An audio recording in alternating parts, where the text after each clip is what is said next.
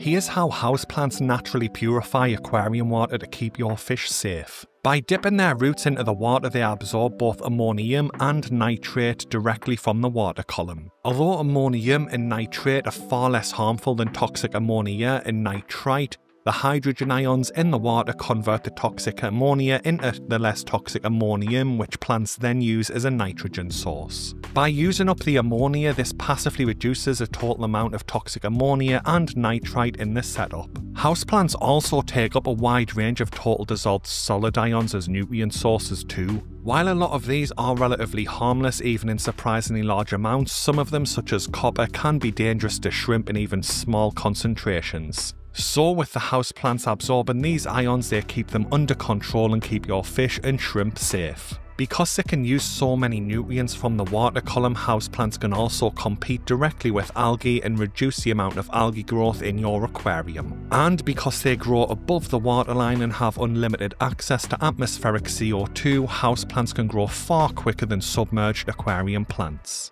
This rapid growth helps them use up a lot more toxins out of the water than a lot of popular submerged plants.